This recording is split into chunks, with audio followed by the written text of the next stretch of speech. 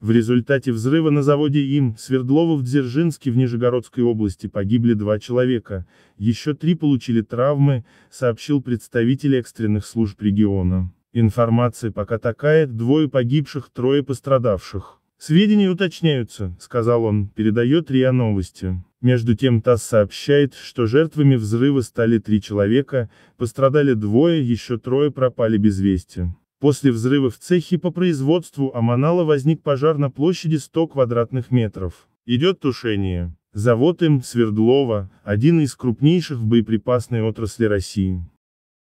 Помимо прочего, выпускает широкий спектр промышленных взрывчатых материалов, шашек-детонаторов, кумулятивных зарядов для дробления негабаритов в горнородной промышленности, перфорационных зарядов для нефтегазовой отрасли.